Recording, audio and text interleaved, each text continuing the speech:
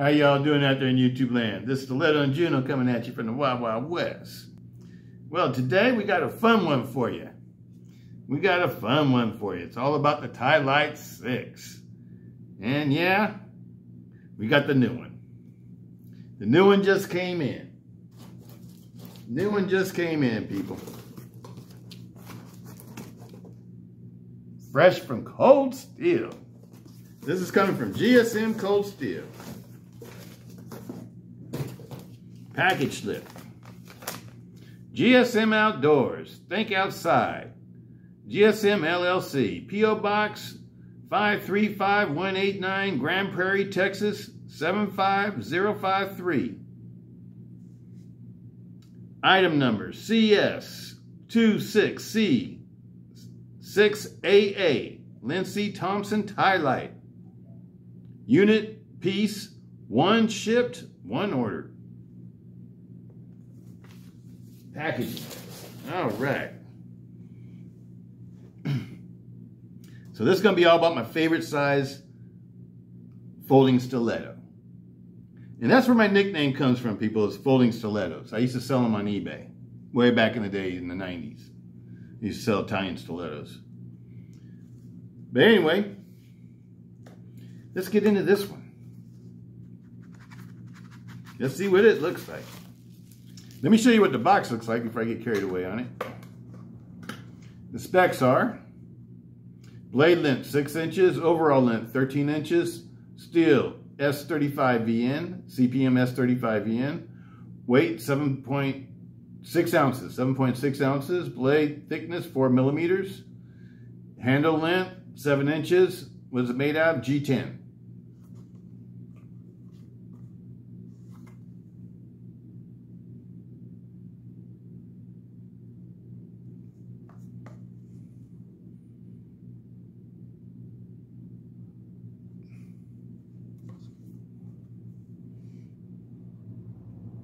I always like to show everybody what the boxes and everything looks like. So you know what, compare it, you can compare it, use this, compare it to, you know, anything that you buy from somewhere else. Make sure you got don't have a counterfeit. This one's coming straight from Cold Steel, people. This is not an online dealer or, or purchase anywhere else. This is coming straight from Cold Steel itself. They sent me a special deal in my in my uh, on my on my cell, and they text me a special deal, and I couldn't resist. It was another 50% off. I got this knife for 86 bucks, people. 86 bucks. Couldn't resist. Couldn't resist. For that price, for S35VN and G10, six inch blade and a knife that I've been wanting, it was a good deal. I didn't, I didn't want to get at the other higher price, you know, it was like, it was like in the mid to like $200 price. Oh, this is beautiful. It's centered out perfectly.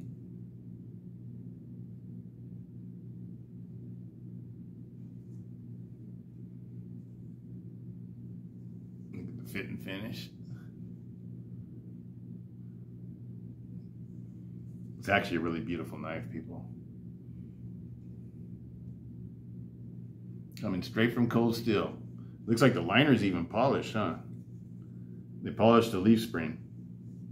All right, let's let's let's let's take it for a ride. Woo! Oh yeah! Oh yeah! Oh yeah! There's new markings. This is the only one I have with new markings. All these others that, you, that I'm going to show you that are in my collection, I've been collecting since 2001.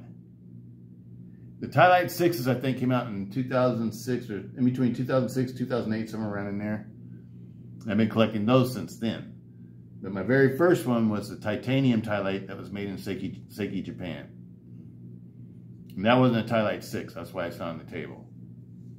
It was a four, the, first ones were a four inch blade. Isn't that beautiful, people? Now I was sort of on the fence about this one, about the, about the clip blade. Because it didn't look like a, a tie-in style stiletto clip blade. I'll show you one of those a little bit in a little bit too.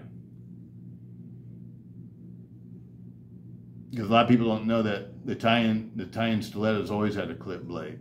But it's more of a stiletto shape. It's more a dagger sort of, you know, it's like a more of a slender stabbing type clip bay. so is this one too, but it's a little bit wide. It's not as wide in this area right here. This one looks cool and it feels good in hand. This feels really good in hand. Feels like the balancing point is probably right about, right about here, huh? Right about there. Oh yeah.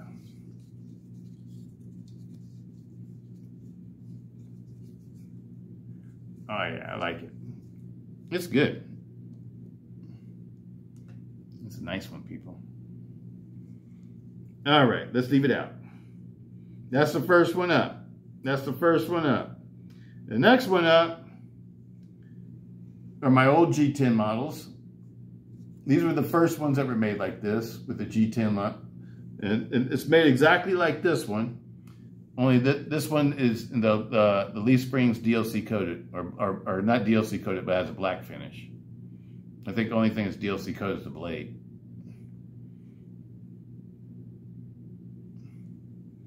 But the handle, the handle, these two handles are, are both the same. They're made the same way.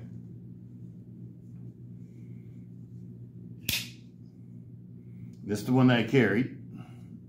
You always can tell because it's got a wear mark. That's for me carrying it and using it. I got one to collect and one to carry. And I'm going to get another one of these too, just in case I want to carry one of those. Oh, the number on that one was 2079, 2079. 2079, so it's a high number. Maybe that's the reason why Cold Steel sent me a special offer. Maybe they're clearing them out. I don't know how many of them they made. When they when these first came out, these were supposed to be a one of a kind, you know, uh, you know, uh, knife. They were just supposed to have one batch that was supposed to be made, and both of mine came from that batch. And these were real expensive when they first came out. But I got deals of mine too. You know, I always get deals. Always get deals. Always get the deals, people. And that's those. This one's the same thing. DLC coated, CTS 6HP. You can still get these. Now they have CPM S35VN blades with DLC coating. But these are the original ones. The very original. The very first ones made like this. They were like a special edition knife. Now, the most expensive knives that, that you were always able to get, that were always like the, the top of the line for the Ti-Lite 6s, were the ones with the aircraft grade um, 7075 aluminum handles. Now, 7075 or 6061 aircraft grade aluminum is awesome. It's awesome. To me, it's just as good as titanium, people. You know, titanium's just heavier. You know what I mean? It's like a, I don't know, but, you know, as far as like, you know, lateral strength and, you know, the strength in your handle and stuff like that, if you got something that's made out of 6061, that's all you need. That's strong. And it's going to be a lot lighter than the titanium. So to me, it's more desirable. And But, you know, I, I love titanium too, though. So I don't want to knock titanium, but I think sometimes titanium is like over uh, over appreciated or, or uh, hyped up or something. Because I think aluminum does just as good as a job as the titanium does when you talk about knife handles. You know, that's what we're talking about. We're talking about knife handles. But anyway, I think I got these in order. I think this might be the AUS 8 one. Yep, AUS 8A. And these were top of the line when I bought them. These were like the most expensive Ti-Lites that you can get when I purchased these.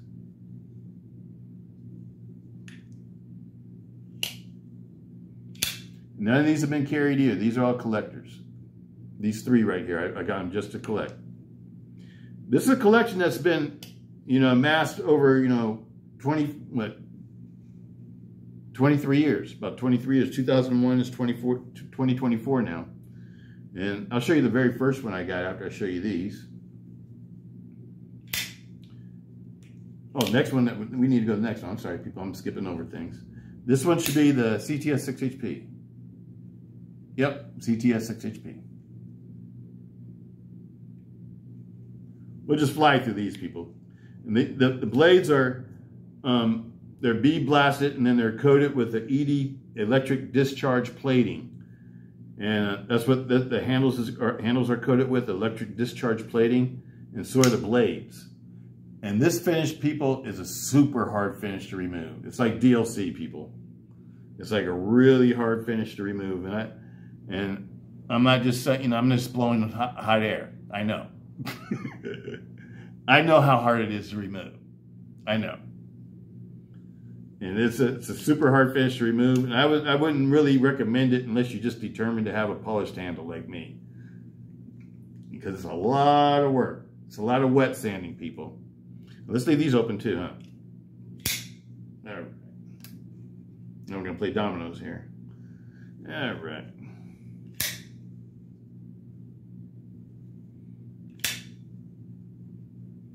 Next up. Now this is one, this blade on this one is the original Ti-Lite 6 blade that I bought back when these first came out. I can't remember if it was like 2006 or 7 or something like that. It seemed like it was like right around that area right there. And, th and it was on a knife with a handle like this. And a Zytel handle. And this is like the first generation handle. And these are from like the first, when these first came out too also. And I got an old beat up um, 7075 aluminum top of the line one off of eBay for a very good price, you know, super cheap. The blade was really messed up, but all I wanted was the handles because I wanted to do the handles like I did this one.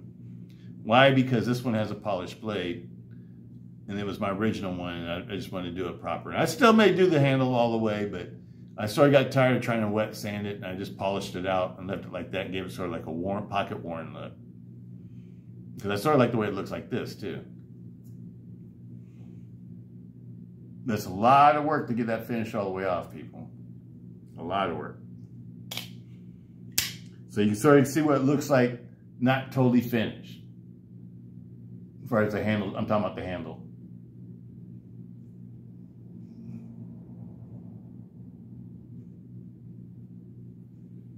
All right. Next up, this is my favorite. This has got to be like, this and the, this and the, my G10 one, I think are my two favorites, people. Now this whole entire collection. These two are my favorites.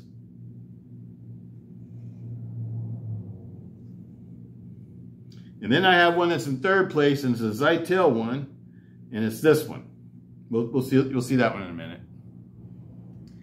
But this was made out of uh, this one. I swapped the parts on it. I swapped the parts on it. And I'll show you that one in a minute too.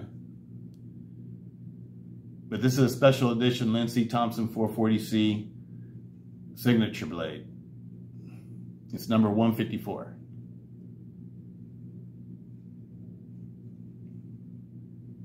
It's when they first came out. That's why I made this one. Absolutely love it, people. This is one that I carry all the time. This one gets carried a lot. It's another one of my favorite motorcycle knives. I forgot to pull one of these out the other day when we were talking about knives, about big knives. Should have pulled one of these out too, because I carry these a lot too. when I go on long, long motorcycle rides. Next up, let's get into the OGs. These are the original ones from the mid to late 2000s. These are over 15 years old at least. These never been used. These were the collectors. These are AUS 8. With the original handle scales. That's the original handle pattern. And this pattern was kind of cool too because you can put your finger in here and it gives you a lot of control over the blade.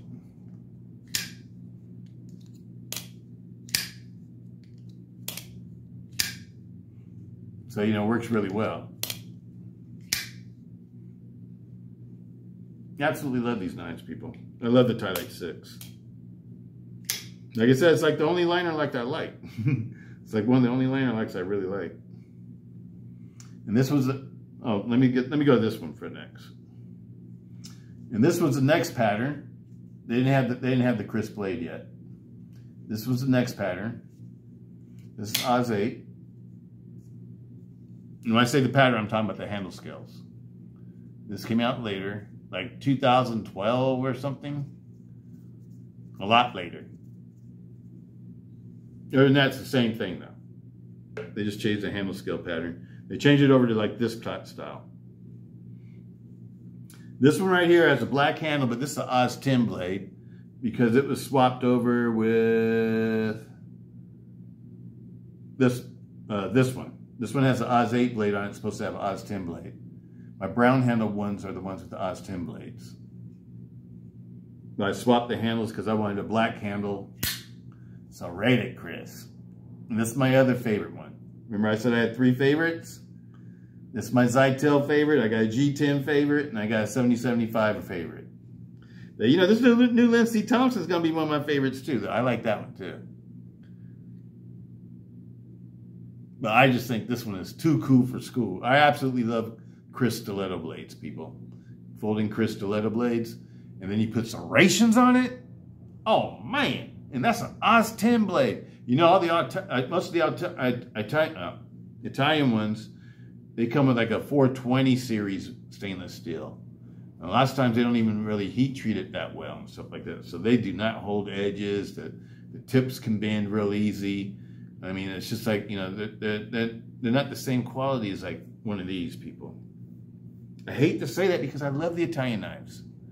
But I really just like to collect them now. I wouldn't carry them anymore. If I want to carry a folding stiletto, I'm going to carry one of these. Simple as that. I'm going to carry a, a Ti-Lite 6.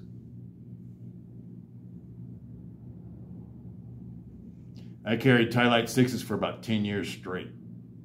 It was like the only knife I would carry. That and the, and the other knife I used to carry was the Voyager and, and, the, and the Recon. The Voyager and the Recon and the Tal when the Talwar came out, and I carried the Talwar. But the first cold steel I carried a lot was the Ti-Lites, people. Were the Ti-Lites. They were the first ones. They were the first knife that really turned me on to cold steel. That and the Archangels, because I was in the Balisongs at the same time. Balisongs and, and stilettos. Those are the two knives I like to collect at that time. All right, people. So we got that little bit of history on that. Let's get on to these. Oh, this is another one. I'm just going to open this one up real quick. It's just another one of these. You know, I get, I always, always get more than one. That's another original pattern one. This one right here has an AUS 8 blade on it, but it's supposed to have the um, AUS 10 Kris serrated Kris blade on it.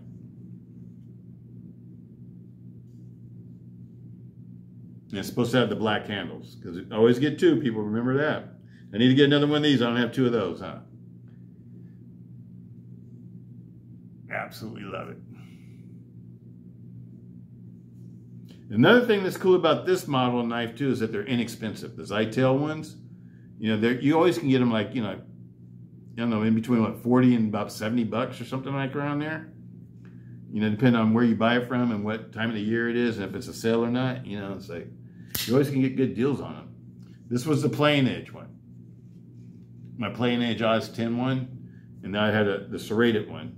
But I decided I wanted a black handle. So I gave it a black handle. But this is the plain edge one. This is the one I never use. The serrated one is the only one I've carried. This one right here, this is another Lynn C. Thompson Special Edition Signature Blade, 440C. Kris. I bought three of them when they first came out. And this one's number 151. 151. Never been used. It's a collector, people. And this one's number 67. 67. Same thing. Never been used. Collector. And this one right here, this one, I swapped the parts with this one. This had the 440C blade on it. And this blade and all the hardware was on this handle originally, and it was finished like this with the dark EDDP plating. You can see how I swapped the parts. That's why I'm putting them side to side like that.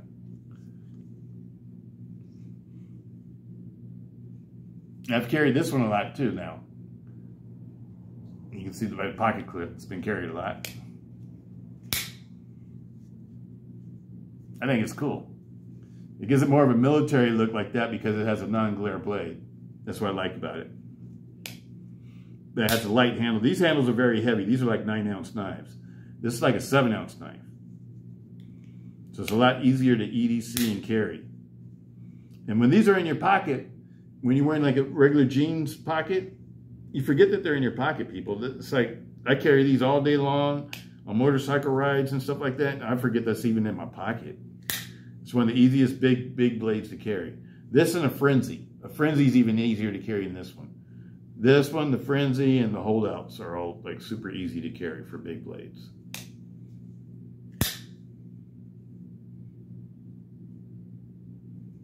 And I like the Frenzies, but I always like these better because I just like the way that the grips feel to me in my hand. And I like the length of them and the size of them. I just like these better. This one right here is the very first one I bought in 2001. This was a knife that caught my attention to Cold Steel. This and the and the um, Archangels. They're the very first knives I ever bought from Cold Steel. This one has titanium handles, titanium liner, and titanium pocket clip. The blade I think is might be a VG1 or AUS 8. I can't remember what the blade was. It's made in Seki, Japan. It's not made in Taiwan. This one's made in Japan.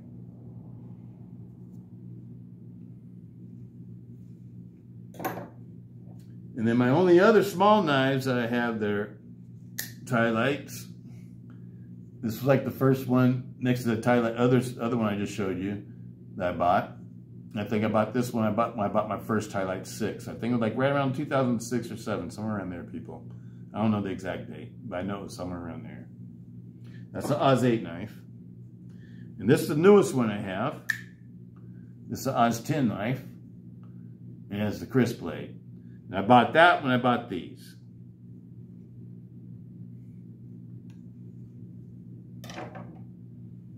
Now, let's talk about the new blades, the new blade shape. This new blade shape. I brought an example out here. This is an old style stiletto um, clip style blade. This is a kissing crane, a German kissing crane with uh, genuine um, deer stag handle scales and uh, solid solid brass solid brass um, what do you call it uh, bolsters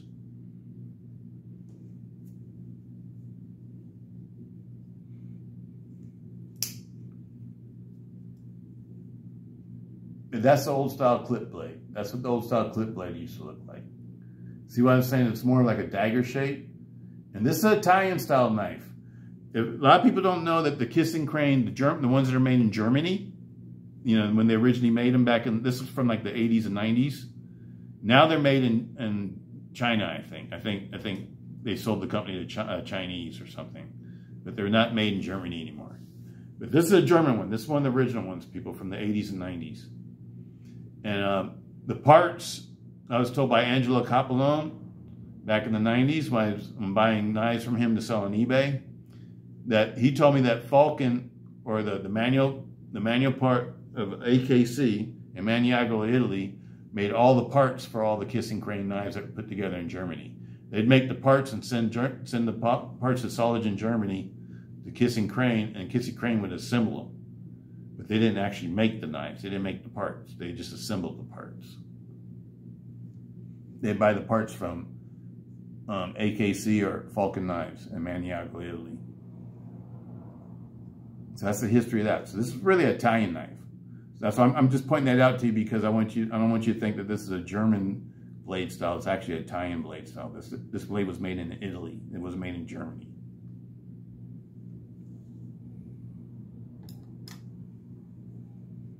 And this is like a, a Falcon knife that you can get now that's a manual folder.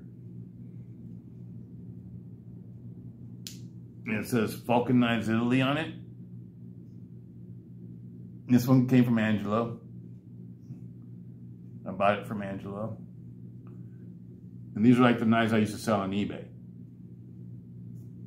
And I just kept a couple of them, but they're all gone now.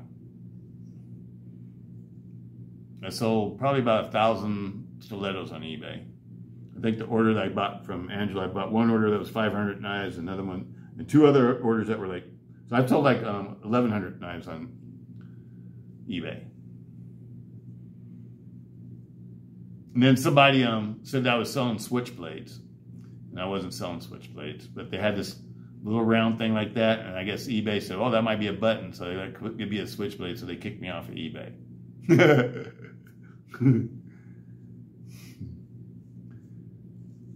That's why I stopped selling stilettos on eBay.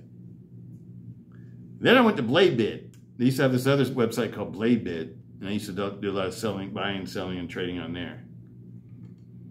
Josh at PVK is the one that used to run BladeBid. This one right here, this is the Otto. And that's the reason why I like these kind of knives is because my first love was these Italian knives. And absolutely love them. This one right here is a AKC, Angelo Cappellone, Automatic Knives Company in Maniago, Italy, AKC. It's got stag bullhorn handles. It's a swivel, swivel bolster lock. Dagger grind.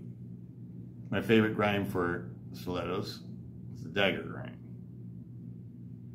Dagger grind and the Kriss grind, the dagger, Kriss, and the bayonet are my three favorite blades for uh, folding stilettos. This one right here, this is a Beltrame with another dagger grind. These are the ones I kept in my collection because they were my favorites. My favorite, my favorite handle material for these is the black bullhorn. I also like white pearl too. but these have um, stainless steel bolsters and they're both swivel locks. These were like the common style um, Ottos that you used to be able to get. And when BladeBid existed, that's when I used to buy and sell and trade these things on BladeBid. Back in the day, a long time ago, people. And these are the ones I kept. These are the ones I like the best. Now compare these new knives, like I said, you know, these knives are sharp. You know, they're sharp and everything, but they, they don't hold an edge. They don't hold the edge very well. You know, the blade steel on them is not comparable to, eh, to any of these new blade steels or even the, the real good ingot steels. Because like I said, these are more like a 420 C type grade. And Angelo told me that they used to make knives like that in Italy because they're supposed to be disposable. Because if you ever, because these knives were meant for self-defense. Because I guess in Italy, I've never been there, but he told me that there's like a lot of dark alleys and places where people rob people and mug people, and people carry like knives like this for self-defense. And he said if you use it, you're supposed to toss it in the ocean and get rid of the evidence. so, you know, they're supposed to be disposable knives. And that knives, knives that you you know you, you should be collecting and keeping forever, you know, because they're meant to be carried and used for self-defense purposes. They're not utility knives, people. And you could you, you could sort of look at them and guess how they're supposed to be used, right? They're pokers. They're made for poking. But these are my favorites. Always loved the stilettos. The very first knife I ever bought was a Italian, not, not Italian stiletto, but it was Italian style stiletto. Uh, back in a Field, Field and Stream magazine. And for 99 cents, you can get a, a, a, a little stiletto. Was like a seven inch stiletto. And for a penny more, they give you an extra one. And they're made in Japan. And I remember asking my pops if I can get one. He said, yeah, you let me get it. And then I got, that was my very first knife I ever bought. The second knife I ever bought was in, was in Cub Scouts. And we had to have a, a camp knife. And we had to carry it at school in the second grade, people. You can tell how old I am, huh? They don't allow you to do nothing like that no more. but in my state, we're allowed to own these, but we're not allowed to carry them. We can own automatic knives, but we cannot carry them. It's legal to own them, but it's illegal to carry them. So I collect these and I carry these. That's the way I roll. Anyway, people, that's all I wanted to show you today. The brand new one. Brand new one. And yes, I think I'm gonna get another one. I wonder if they're gonna make a regular production line of these. That'd be cool too. I think it's a cool, cool, cool addition to this line. It's more like a hunting knife, though. I mean, it feels like it doesn't feel like a um, it doesn't feel like a stiletto. It feels more like a um, like a big folder. You know, it's like I don't know, I don't know how to explain what I'm trying to say, because this blade doesn't really look like a dagger blade to me. And to me, a folding stiletto should have like a dagger style blade. You know, something like this. You know, that's a dagger style blade. Even though it's not a dagger, it's a dagger style. Same thing with the, the, the Kris. You know, that's a dagger style Kris. But, you know, it's still cool though. I still like it. But I like it a little bit differently than I like the others. Is that a good way to put it? Because to me, being a, a be, me being a stiletto person, it doesn't really feel like Italian stiletto. It feels like something different. It feels like a hybrid. You know, like the American Tanto. So this might be the American stiletto. anyway, people, I like it. It's a very high quality knife. And for the price that these are going for, you know, like, you know, like I've seen them on sale at um, Midway. I think I saw them on sale at Midway for, was it 108 or something like that. But, you know, Midway had them at a low price too. So I can't get that same deal off of Cold Steel again. I might go to Midway and get another one. I absolutely love it. I just want one more. I just want one more just for my collection. Just for my collection, people. You see, you know, you see how I do. Out of all these, I only carry about three of them. This one, this is one I carry, this is one I carry, and this is one I carry. All the others, people are collectors. This one, this is the first one I carry, but I don't carry it anymore. I don't carry that one anymore. It's just a collector now. If I'm going to carry one of these, it's going to be one of these three. All right, people. Well, that's it for that. Hope everybody's having a great day.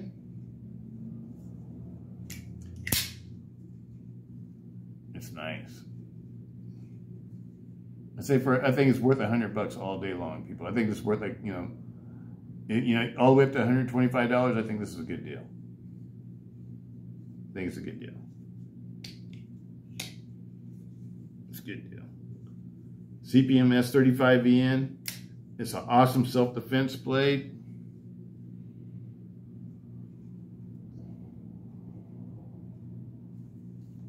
Let's test it out. We didn't test out sharpness. Just for a quickie.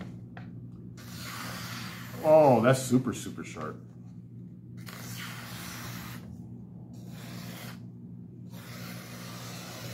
That's super sharp, people. That's a super sharp blade. Let's weigh it real quick, too. Just out of curiosity.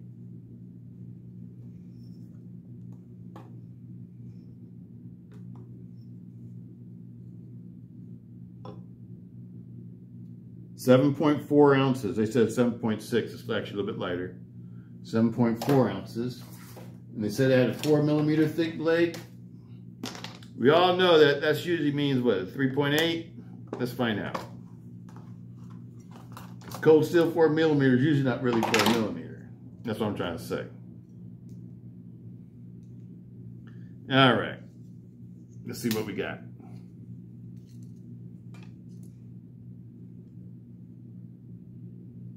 Three point nine five. That's four millimeters. That's pretty. That's about as close as I've ever seen it. Three point nine five. That's really good. So I, I, would call that four millimeter. I'll give it to him. That's four millimeter stick. Absolutely love it. The blade is six inches. The handle is seven inches, 13 inches total length. It feels really good in hand too, people. I love the color. You know me, people, I like OD green. So I really love this color. Beautiful. That's it for that, people. Peace out. Stiletto.